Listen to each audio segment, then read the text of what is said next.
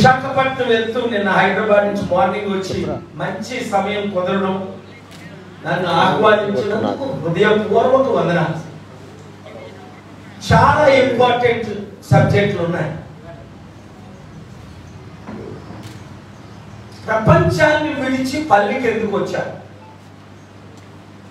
ఐదు లక్షల కోట్లు ఎడమ చేతికి తెలియకుండా కుడి చేతితో పంచి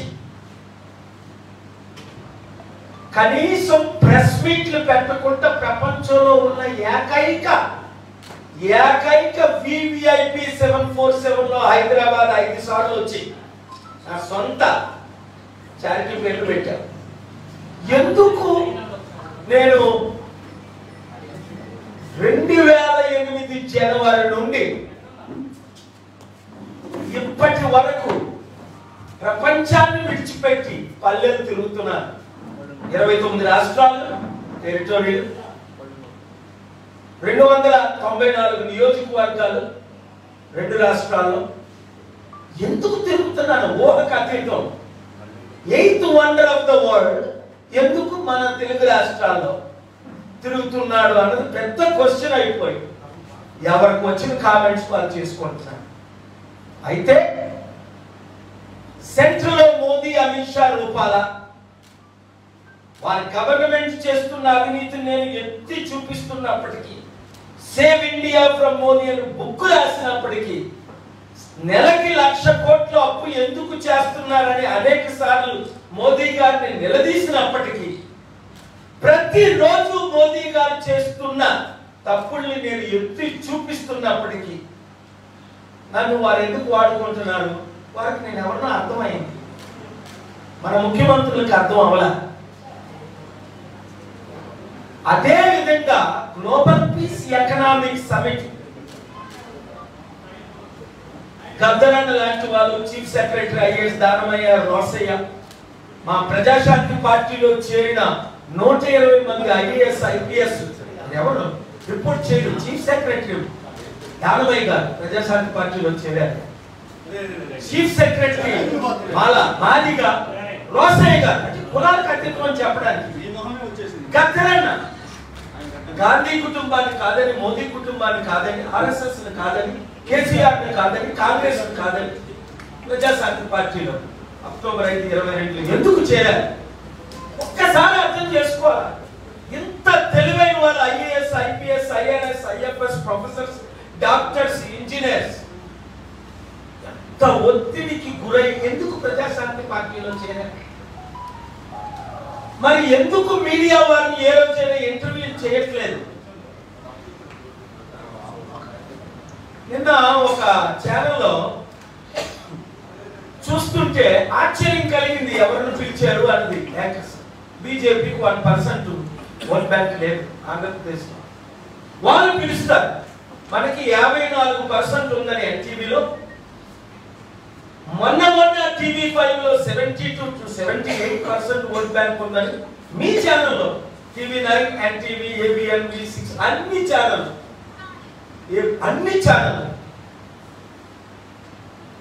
minimum fifty four percent YouTube channel పేరు చెప్పవసరం లేదు. Eighty two eighty three eighty four eighty five eighty six seventy eight. అంటే నూటికి యాభై అరవై శాతం మినిమం మార్పు కోరుకుంటున్నారు నన్ను కోరుకుంటున్నారు ప్రజాశాంతి పార్టీని కోరుకుంటున్నారు. మీరు ఎక్కడ సభ్యం చేసుకోండి. అందుకనే రైల్లో గుండెలు ప్రయాణం చేస్తున్నాయి మోదీ గారికి. ఇదే చివరి ఎలక్షన్ అని ఖర్గే గారు కాంగ్రెస్ ప్రెసిడెంట్ స్వయంగా చెప్తున్నారు. ఇంకా మోదీ డిక్టేటర్ అయిపోతారని. మోదీ కాకపోతే ఇంకొక ఆర్ఎస్ఎస్. అయితే మనం ఎవరిని? తెలుగు ప్రజలు. ఎన్టీ రామారావు ఫాలోవర్స్ ఆయన ఏ గెస్ట్ అవనియండి ఎవరు అవనియండి బడుగు బలహీన వర్గాల కొరకు పేద ప్రజల కొరకు. అలుపు తీరకుండా ఫైట్ ఇచ్చారు. అలాంటి వాళ్ళకి ఎవరే భారతరత్న బాలయోగ్ గారు నాకులాగా బొగ్గుల నుంచి పైకెత్తిన వ్యక్తి ఎమ్మెల్యే కాకముందు నన్ను కలిశారు. స్పీకర్గా ఎమ్మెల్యే నుంచి మినిస్టర్ ఎంపీ నుంచి స్పీకర్ నలుగురితో మాట్లాడారు. అద్వానీ గారు సోనియా గాంధీ గారు బ్రతుకు ఉన్నారు. One one hour. దేవగౌడ్ గారు ఆయన చెప్తే ఆయన ప్రెసిడెంట్ ఆఫ్ ఇండియా చేయడానికి ఆ వేళ నన్ను స్పీకర్గా పిలిచారు పార్లమెంట్. ఇవన్నీ మీకు తెలుసు? ఇదంతా ఓపెన్ సీక్రెట్. చనిపోయిన రోజు కూడా హెలికాప్టర్. ఎంత కుట్ర చేసి ఆయన చంపేశారో తెలుసు. ఆయనకి ఇచ్చారు భారత చెప్పుకుంటూ పోతే మన సౌత్ ఇండియాలో ఎంతో మంది రత్నాలు ఉన్నారు. వాళ్ళకి ఇవ్వడే పివి నరసింహ గారి అబ్బాయి పివి రావు గారు డిసెంబర్ ఇరవై మూడుని నన్ను పిలిచి ఆ వంద తేదీ యానివర్ డెత్ యానివర్సరీకి. ఆ మనవడు సుభాష్ నన్ను హోస్ట్ చేస్తే హైదరాబాద్లో ఫిల్మ్లో మీడియా రిపోర్ట్ చేయాలి. అప్పుడు నేను పివి రత్న గారికి పివి నరసింహరావు గారు భారత రత్న ఇవ్వాలని అందరితో సంతకాలు పెట్టించి అక్కడికక్కడే పివి రావు గారు ఉంటుండగా నేను రూపాల గారితో మాట్లాడి అమిత్ షా గారితో మీరు మొబిలైజ్ చేయండి. ఎందుకు మా తెలుగు జాతిని ఎలా మీరు చూస్తున్నారు? షాక్ అయిపోయాను నేను. ఆయన మాట్లాడుతూ కంగ్రాచులేషన్ చెప్తూ టీవీ రాగా ఆయన కొడుకు ముగ్గురు కొడుకులో ఒక ఆయన బతుకున్నారు అంటే నేనేమంటున్నాను అంటే మన తెలుగు వారు తప్ప మన సౌత్ ఇండియన్స్ తప్ప ఇంకా మోదీని ఢీకొనేవారు ఎవరు లేరు. మన మీడియా తప్ప. ఎందుకు? మన నాయకులు అమ్ముడుపోయారు నాకు అసలు క్రిటిసైజ్ చేయడం ఇష్టం ఉండదు. ఎప్పుడు దీవించేవాడిని. ఇదే విజయవాడ వస్తే లక్షల లక్షల మంది. రేపు రావద్దని రెండు చేతులు జోడించి అడిగేవారు మూడు లక్షలు ఈ రోజు వచ్చారు రేపు మూడు లక్షలు కొత్త వారు రావాలి. మూడు రోజుల మీటింగ్ పది లక్షలు రావాలి అని. ఎవరు రాకూడదని పరేడ్ గ్రౌండ్స్లో పది లక్షలు వస్తే కోటి మంది ఇక్కడ ఉన్నారని మూడు రోజులు మూడు కోట్లు ఒక రోజు ఎనిమిది రోజులు పెట్టా ఎనభై లక్షలు వచ్చారని.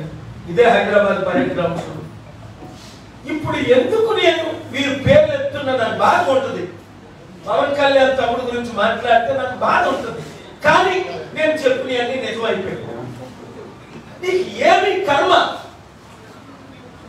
నువ్వు మీరిద్దరూ అన్నదమ్ములు ఇద్దరు ఎంత చక్కని పార్టీ పెట్టారు ప్రజారాజ్యం వాళ్ళ ఇంటికి వెళ్ళారు వాళ్ళ నాన్నగారు చనిపోయినాం.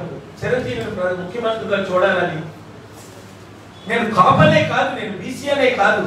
ఒక మంచి యాక్టర్ మంచి పాలన చేస్తాడు అనుకున్నాం. కాంగ్రెస్ విరుద్ధంగా మాట్లాడుతున్నాడు. అదే కాంగ్రెస్ పార్టీలో అన్నదమ్ములు విలీనం అయిపోయి అమ్ముడుపోయారు ఎంత బాధ ఉంటుంది.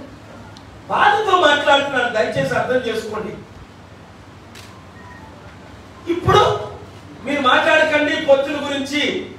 కాపులారా నాకు మద్దతు ఇవ్వండి. నేను వెళ్ళి కాపులకు బీసీలకు దళితులకు అన్యాయం చేసిన చంద్రబాబు మోదీతో పొత్తులు పెట్టుకుంటున్నారు ఇరవై ఇచ్చిన కుక్క అనేదాన్ని మేము కుక్కలవా ఇరవై ఇరవై పదిహేను ఇరవై సీట్లు ఇస్తే దుమ్ములు ఇస్తే మరి ఇప్పుడు అదే ఇరవై ఇరవై ఐదు సీట్లకి ఎందుకు అమ్ముకుపోయాం? ప్రశ్నించకపోతే ఎట్లా? సారీ ఒకవేళ నేను కొంచెం నేను అన్పార్లమెంటరీ లాంగ్వేజ్ వాడను. ఎందుకు అంటే మనం అధికారంలోకి వస్తే ఇక్కడ పది లక్షల కోట్ల అప్పు ఒక్క సమిటితో తీరిపోతుంది